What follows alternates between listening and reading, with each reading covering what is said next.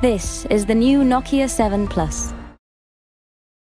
The Prime Minister has accepted 10 conditions submitted by uh, the Tamil National Alliance, the leader, uh, Mr. Sampanthan. So now he says that the constitution has to be amended. And Mr. Sumanthiran, the member of parliament, he has said that uh, the government has a mandate to change the constitution. But the government doesn't have a mandate to change the constitution because in any of the election manifesto of the People's Alliance had never mentioned about change in the constitution. Only the UNP in its uh, election manifesto has mentioned that when they come to power that they will change the constitution but they did not get enough uh, the sufficient number of seats to form a government so therefore the public has never not never given a mandate for the present government to change the constitution and also he has said that uh, he has agreed to release uh, some of the lands that are now occupied by the army.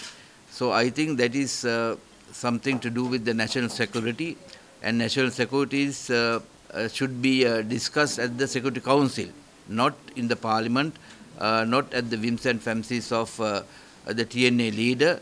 It has to be, if, uh, if at all, land has to be released, it has to be released after a careful security study.